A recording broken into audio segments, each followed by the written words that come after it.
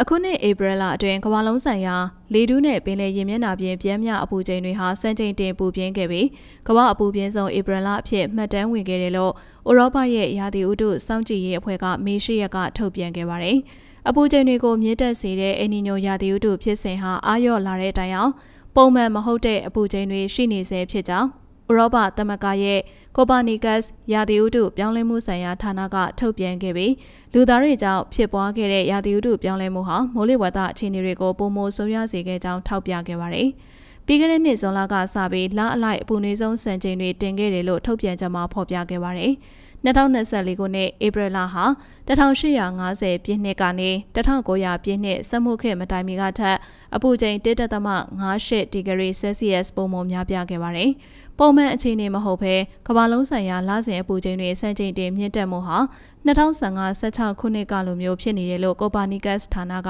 ဆိုပါတယ်။ ပြီးခဲ့တဲ့12လအတွင်းပြင်းပြအပူချိန်တွေဟာစက်မှုခေတ်မတိုင်မီကထက်1.6ဒီဂရီဆဲလ်စီယပ်ပုံမှန်များပြားခဲ့ပြီး2015ခုနှစ်က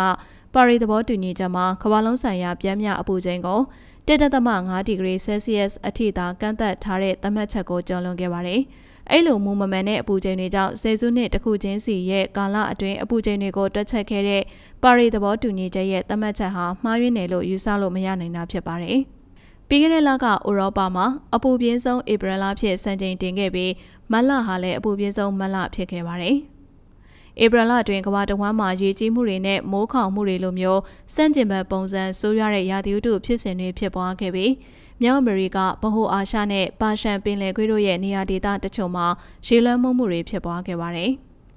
ရာသီဥတုပြောင်းလဲမှုကြောင့်နေရာဒီကာလတွေမှာအပူလိုင်းကြားရောက်တဲ့အချိန်ရေပိုများလာပြီးပိုမိုပြင်းထန်ကအချိန်ပိုကြာမြင့်နိုင်တယ်လို့သိပ္ပံပညာရှင်တွေကသတိပေးထားပါတယ်။